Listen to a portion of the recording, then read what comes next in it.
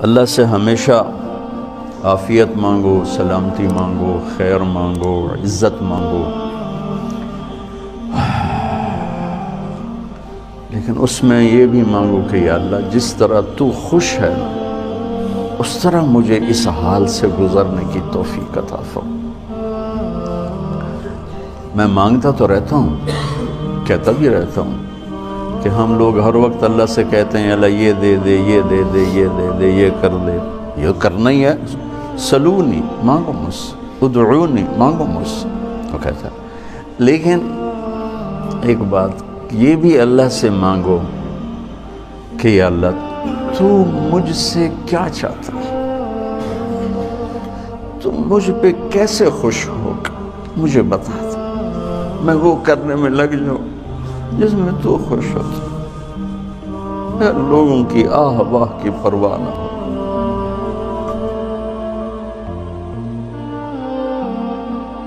कोई बुरा कहे तो भी ठीक है, कोई अच्छा कहे तो भी ठीक है। कोई गालियाँ निकाले, कोई दुआ दे, कोई कुफर के फतवे लगाए, कोई मुत्तकी परहेजगार बताए। दो आलम से करती है बेगाना दिल को।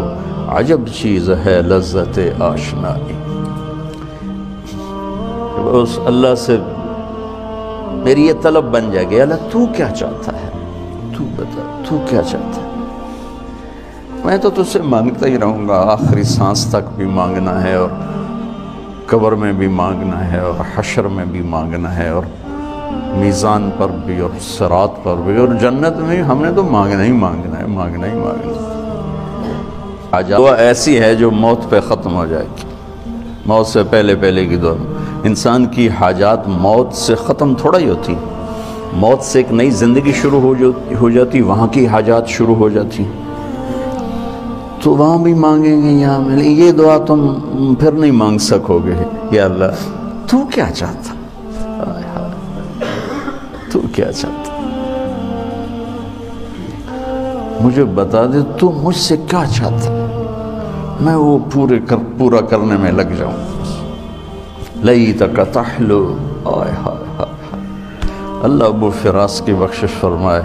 उसने तो सैफुद्दौला के बारे में कहा था, मैं अल्लाह पे फिट करता हूँ। लई तक तहलो, वल अयाम मरी रतन वलई तक वल अनाम गदाब वलईत लदी बैनी व बैन का आमिर व बैनी व बैन आलमीन खराबू वलईत शराबी मिन विदाद का साफिया आय हाय हाय व शुरबी मिन माइन सराबू फ़ैदा साह मिन कल बुद्द फल कुल्लु हय्यन व कुल्ल लदी फ़ौक़त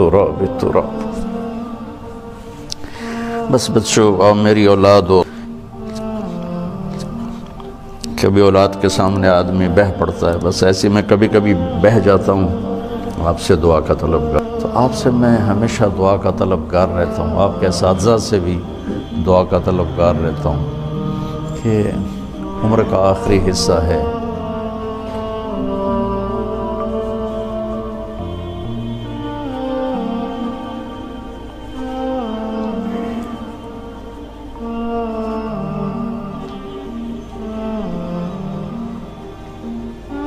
अल्लाह फितनों से हिफाजत फरमाए मैं मैं अपने हर जगह दोस्तों से ये तलब करता रहता हूँ तो अभी रायमंड में थे तो मैंने ऐसे कुछ दोस्त थे मैंने कहा यार दुआ करो अल्लाह ताला हिफाजत फरमाए हमारे हाँ एक मिसाल है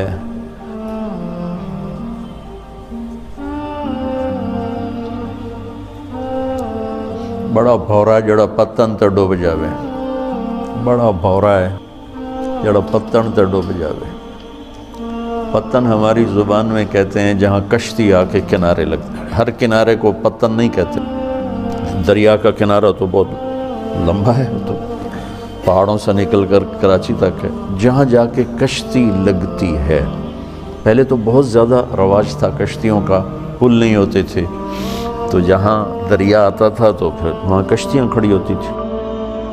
वो देसी कश्तियाँ, देसी मल्लाह वो बड़े बड़े बांसों से उसको, उसके खेवन हारे बनते थे, उसको खींचते थे।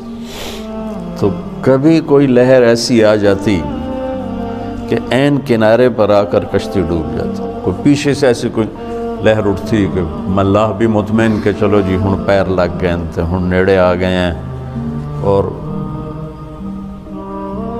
मुसाफिर भी मुतमिन के बस ये कोई अचानक पीछे से तूफ़ानी लहर उसको आके उल्टा देती तो कुछ उसमें। तो ये हमारी एक मिसाल है इलाके की, हमारी ज़ुबान की, बड़ा भौरा, बड़ा बदनसीब है, बड़ा भौरा है।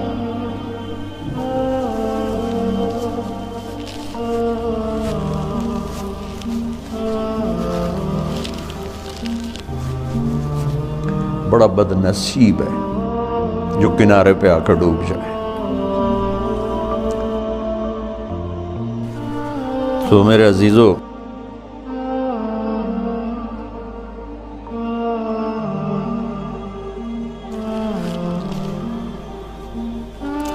इंसान पे जो भी हाल आता है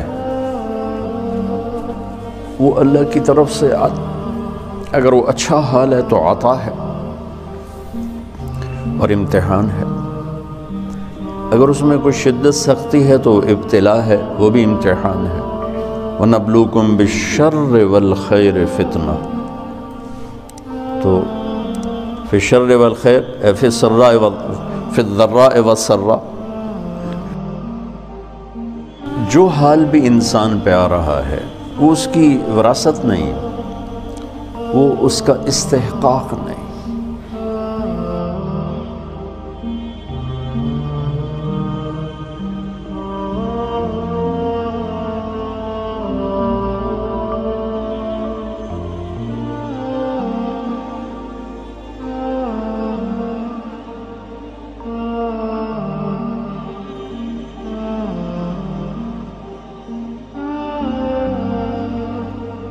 आपको पता है सबसे पहले जहन्नुम में कौन जाएगा? हुँ? बोलो। हम्म?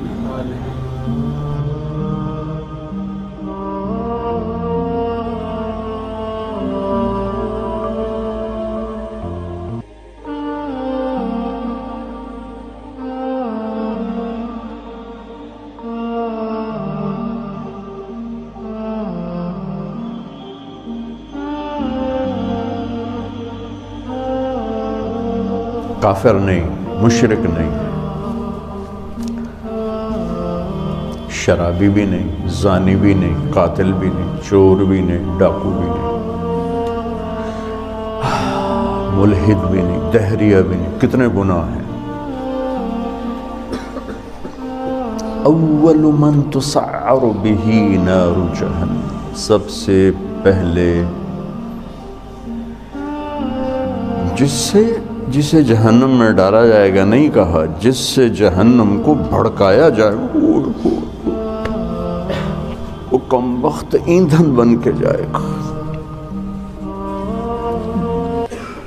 यानी औरों की भी तबाही का सबब बन के जा रहा है कि उसके ज़रिए से जहन्नम और भड़केगी।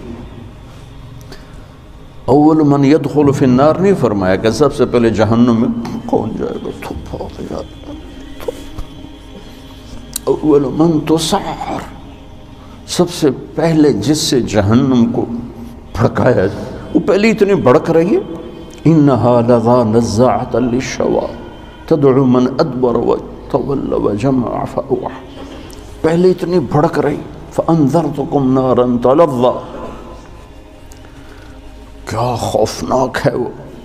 इन्ना तरमी बेशरन कलकस का जमालत सुफर। क्या हैबतनाक अल्फाज हैं कुरान के? और फिर इस बदबख्त को डाला जा रहा है और भड़क, इसको ईंधन बना। आलिम, अव्वल मन तुसार ही नारुजा आलिम, मौलाना साहब। हाँ क्यों? सारी ज़िंदगी किस लिए किया तेरे लिए। क्या बकवास करते, झूठ बोलते। तूने अपनी वाह वाह के लिए किया था। फिर शहीद, जिसके खून का कतरा ज़मीन पर गिरने से पहले उस पर जन्नत वाजिब हो जाती, लेकिन नीयत का खोटा था। फिर सखी, जिसके बारे में अल्लाह का नबी फरमाते हैं, अल्लाह के करीब, जन्नत के करीब, लोगों के करीब, जहन्नम से दूर, और अल्लाह को बकील से नफ़रत, सखी से प्यार, लेकिन मारा गया अपनी बदनीयती और बदअमली की वजह से, अपनी वाह वाह के लिए किया, डाल दो। ये तीन हैं जिनसे जहन्नम को भड़काया जाए।